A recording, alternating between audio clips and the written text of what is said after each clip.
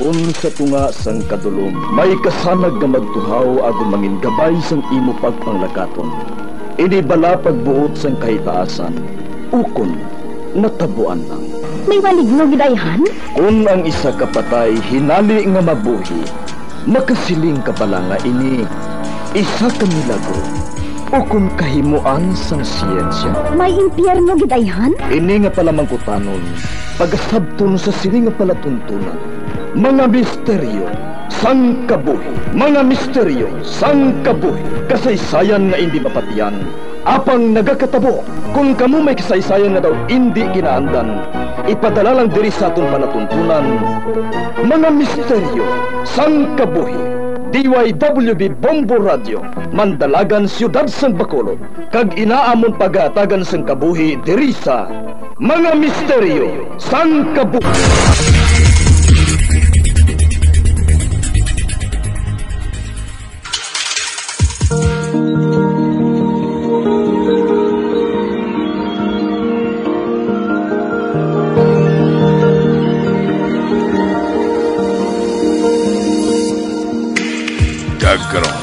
Sa pagsugod sa katon bagong nga sugilanon di sa ton palatuntunan mga misteryo sang kabuhi.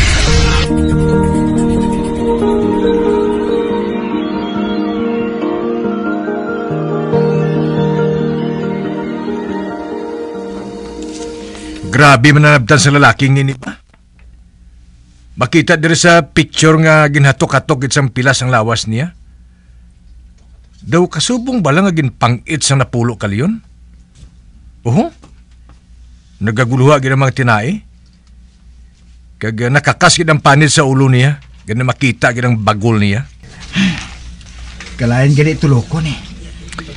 Do sa madigwa ko. Kung hindi mad killer, mahimo nga psychotic ang manugpatay sang tao nga naghimo sini. Kaya kung normal lang ang kaisipan mo, bisan ginpatay mo ang isa ka tao, hindi mo gid siguro pagpaminsaron nga ihawon sang amo sining biktima? Basi kon idol niya ang isa ka serial killer sa isa ka crime movie. Man kun ako makadakop sang abnormal nga killer nga ini, dunuton ko gid ang kinatao niya. Kag paano kung babae gali ang killer? O kung ang malain pa gid? Kung hindi gali tao ang killer? Kung babae, mahimo nga hindi sa ordinaryo nga tinuga. Tungkol sa makita nga kaimtangan sa biktima. Kaya kung mapintas nga sapat, ano siya nga klase? Kaya bisan pulihan pa sang pangit sa mga pila ka sapat ang biktima. Hindi mangin amo sinig kagrabing resulta. Nan, kay ikaw, palabasa man sang libro sang isa ka sikat nga manunulat, gani tanawa na. Nangin mapinatihon ka na sa mga katingalahan. Tol, basi kung mangin psychotic ka naman sina, sige ka.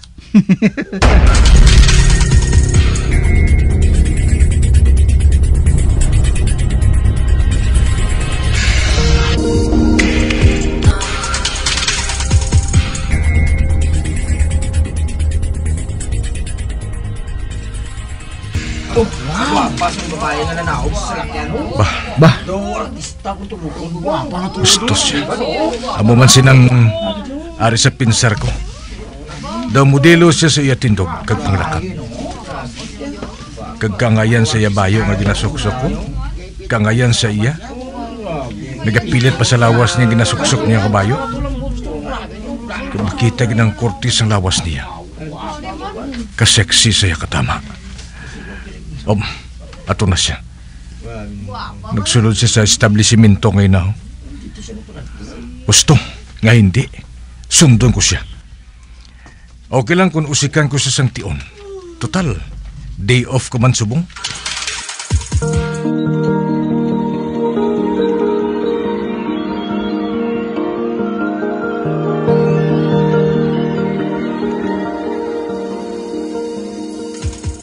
Nagsulod siya diri sa grocery. Kaglikom sa iya, ginasunod ko siya. Hindi ako makahangop. Kung nga nga hinali ako nga nakaangkon sa interes sa iya. Om, Dito sa pakadto sa piyak, malibot ako. Sugataon ko siya.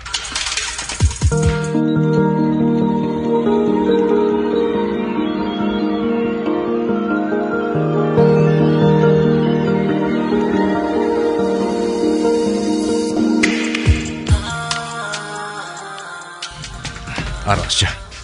Oh! Ay! Ay! Mi- miss, sorry gida. Hindi ko hungod. Ah, s- sorry ha. Ah, okay lang. Wala man nabi ako nakatulupangod si imo eh. Ah, ako na lang mapulot sa mga nagkalahulog ang mga dilatas ha. Ah, Ah, oh, Ario. salamat ha. Wow. Mas gwapa pagit si gali ko lapit. Wala siya makaipalo. Gahungod ko siya nga ginbuguan. Para makasugilanon kami nga duha. Ah, miss, ah, I'm Bob.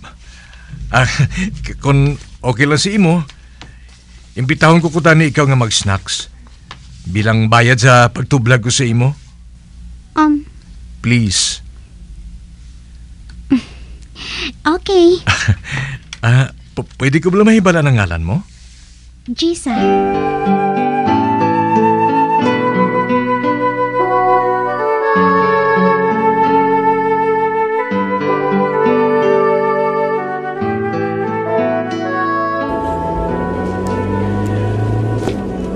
subong.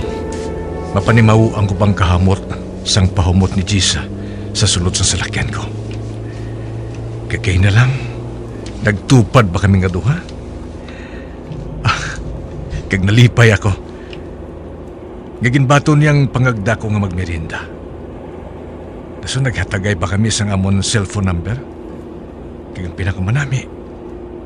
Amo nga nagpasugot siya nga idulong ko siya sa ila. Gani subong, humanang akong desisyon. Pangaluyagan ko siya. Kag nabatsyagan ko, nga may paglawam ako sa iya. Kay kanami sa iya istoryahon, bisan pa nga bago lang kami nagkilalahay. Kag wala ako maguna-una, nga hatagan niya ako sang tiyon. Ah, ari nagli ako sa balay, madulog ako.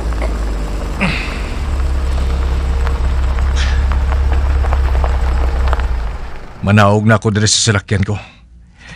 Ah, ba? Ang bag ni Jessa? Nabili niya dire sa pulungkuan niya kay ina?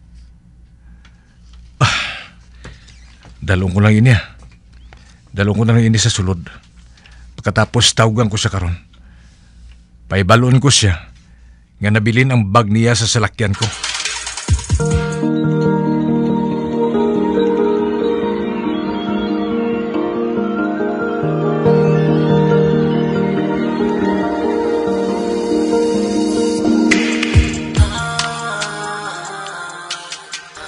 Ano abi kung tilawan ko nga buksan ang bag ni Jessa? Gusto ko mahibalaan kung anong mga unod sini. Do bitin para sa ako ng duwa ka oras nga pagsugilano namon. Gusto, buksan ko ini. Para mahibalaan kong bugos niya nga pagkatao. Kaya wala siya nakahinampit bahin sa background sa pamilya niya eh. Interesado ako sa iya. Ganit tinawan ko nga hilabtan ang bag niya nga ini. Aring zipper. Buksan ko ini. Bah, katiga. Hindi mabuksan? Tilawan ko abiliwat nga buksan. Butong kong zipper. May tigagid. Umayo pa, tawagan ko na lang siya para ibalik sa iya ini. Pero gabi naman. Gabi na ini. Ah, hindi na ako magpanawag sa iya.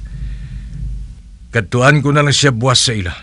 Total, natultulan ko man ang balay nila.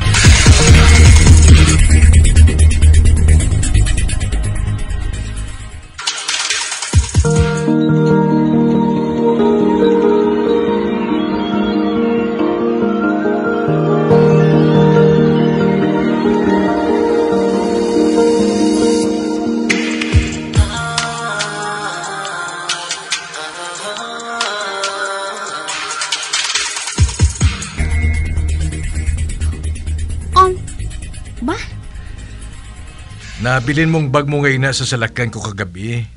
Hmm, amo bala? Ah, pasensya ka na ha. Aga ko naman nabasa ng text mo eh. Thank you, Gida. Wala bala sang... Ah, hindi ka man kabalaka. Wala ko yung naginhilabtan. Ginarespeto kong privacy mo. O ti ano, hindi mo bala ko pagpasudlon? Oh? Ah, kakakon. Ipasensya ka na. Bago lang ako nagsaylo diri. Wala pa ako nakapanghimos. Kagamo pa sa sulod sang balay. Amo bala? Ate, okay lang ah. Pero, imbitaron ko ikaliwat nga mag-dinner ha. Kung pareho kita nga hindi na masako. Okay? Sure.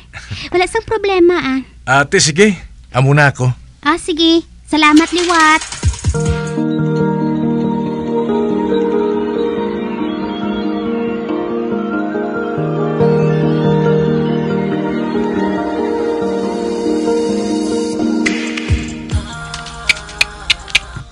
Grabe gid ang serial killer ngayon eh, oh.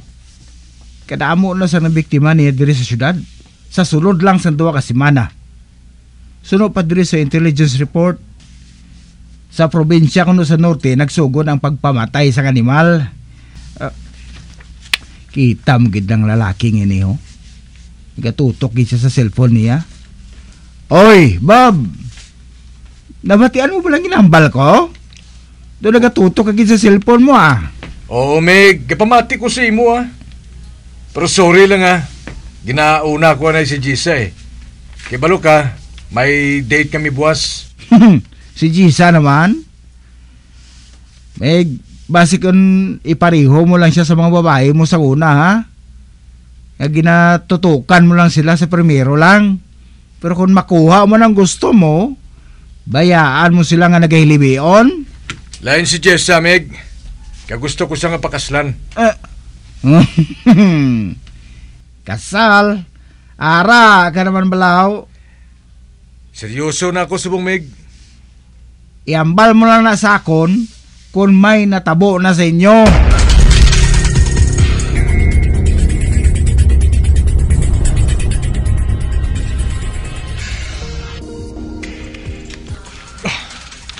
Tapos hindi ako makapati.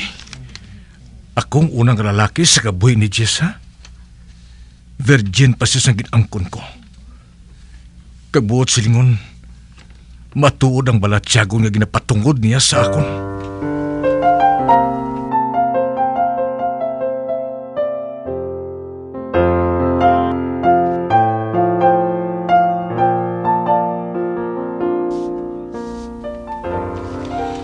Pila ka beses nga gintugyan ni Jessa ang lawas niya sa akon. Apang hinali man nga naglibog ang ulo ko. Tukod na matuod, hindi pa ako sigurado sa balatyagong ko sa iya. Ginsilin ko sabto sa kaugalingon ko. Nga kon sa iya pala ako magtadlong. Apang paano na lang kung magbago ang pananaw ko? Kabuot kay Jessa. Kag sigurado. Nga hindi niya mabaton kung sakiton ko ang palatyago niya.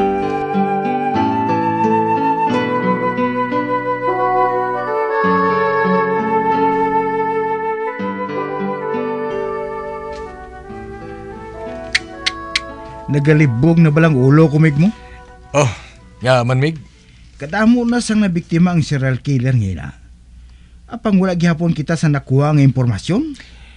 Hindi lang kita magdula sa paglao, Mig. Kag dapat na lang siguro nga dublihon nato ng pagpanilag. Kaya basi kung wala lang kita makaibalo. Ari lang gali siya sa palibot. Kaya nagapanilag man sa aton. Osto kamig. Hindi gi kita makaangkon sang kalinong. Tubtob hindi pa madakpan ang serial killer nga ina.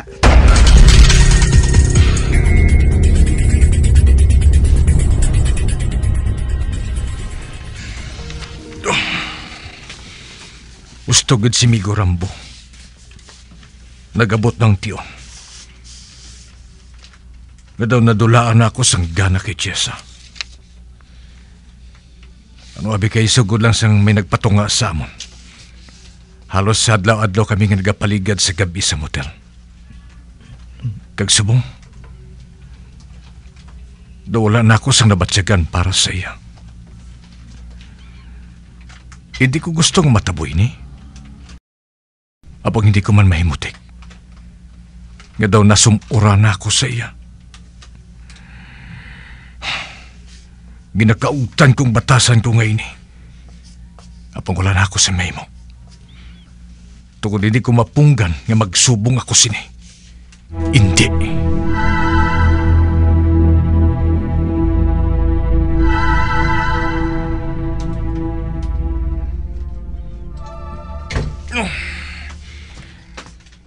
Kapoy ang lawas ko sa trabaho. May pa. Mahilay-hilay na ako. Antes magsulod sa banyo. Ah, ano ka? May ko sa so... Ba? Ang bag nga itong nga ara sa ibabaw sa akong kama? Pamilya rin na sa ako na. Yan ni Jessa. Oh, sa diin balas siya. Wala man sa tira sa kwarto ah. Sa kusina. Dito ako makanto.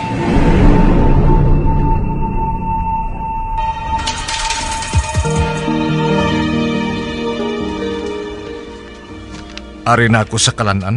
Um, ano ina? Ang bag nga itom ni Jessa?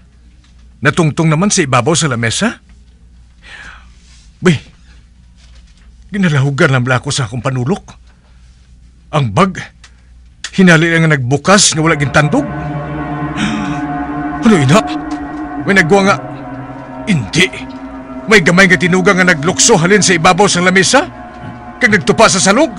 Kag, oh ko, amat-amat ini nga nagdako. Ora, nagtaas siya. Kag makita ko, palahibong lawas niya. Kag isa sa kamapintas nga sapat tulukon.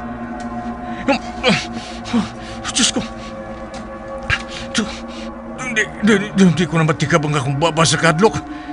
Ang akong armas, kuwaon ko sa akong hawak. Karon, tiruhon ko siya.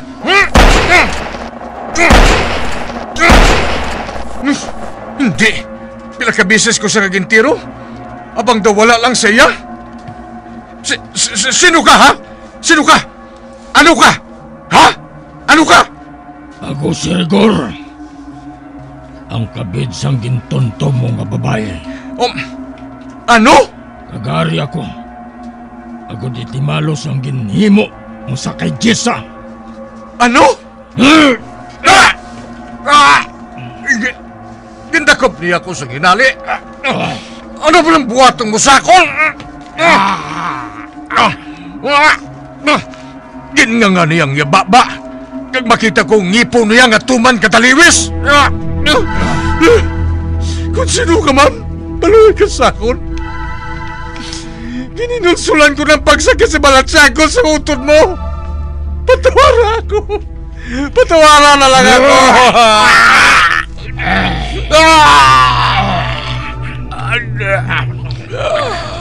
Ang kagari ako sa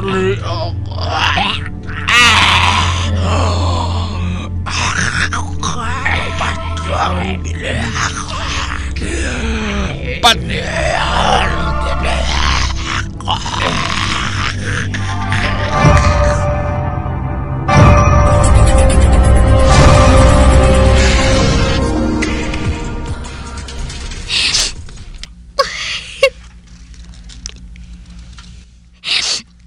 Hindi ko gusto nga buhaton ini sa imo, Bob. Apang ikaw gidang nagtulod sa akon. Para nga madangtan mo ini. Jessa, utod ko. Oh, ano? Nabusog ka na bala sa maluib nga lalaki nga ini? Harigor? Hindi gito man. Abang kanami pamatyagon. Kaya na sa akon tiyan ang kasing-kasing niya. Nga naghatag sang kasakit sa imo. Wala sang mahimo nga magdaog-daog sa imo. Mintars ari ako, utod ko. Kag hindi ka man magutom. Mintras kaupod kita nga duha. Wala sila makahibalo. Nga ikaw ang may kahimuan sa nagakatabo nga krimen. Jisa, Likom sa tanan ang aton mga kaliwat. Normal nga tinuga ang aton iloy. Apang ang aton amay. Isa ka maligno. oh Jisa, Ginaduha-duhaan na kita sa mga tao. Sa ginhalina naton nga lugar. Gani, nagsaylo naman kita sa duog ngayon eh. Agod nga busgun ka. Kagintago ko ikaw sa sulod sang itom ko nga bag ngayon eh.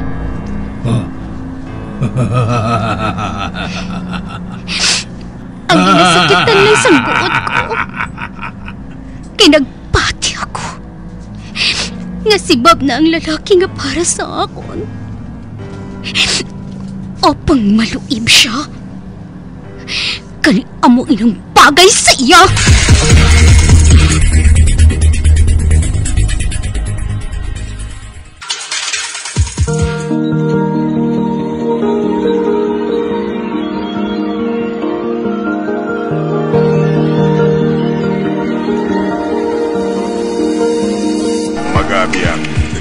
Natapos na ton matahong kasaysayan di sa ton palatuntunan mga misteryo sa kabuhi. Bombo Radio Philippines. Patuloy na number one sa drama. Fast Paradio Bombo!